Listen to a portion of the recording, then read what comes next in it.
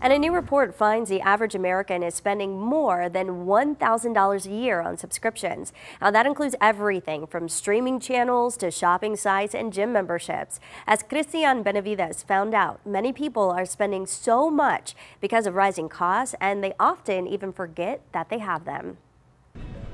Like millions of Americans, Robbie Cruz has a number of popular subscriptions and is willing to deal with higher costs. I want YouTube without ads. I want Spotify without ads. So whatever I need to pay for to have those. A CNET survey finds 67% of adults have seen one or more of their subscriptions increase in the last year.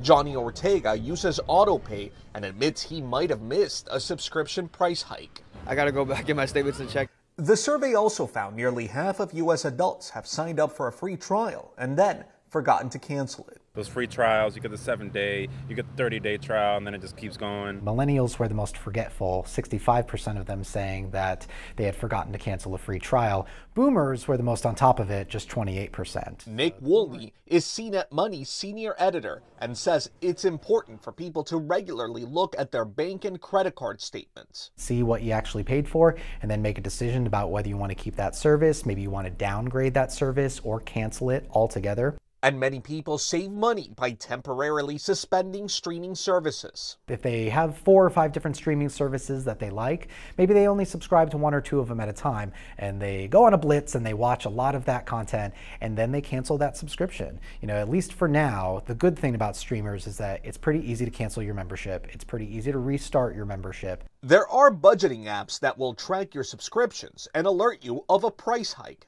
but many of those apps also charge a subscription. Christian Benavides, CBS News, Miami.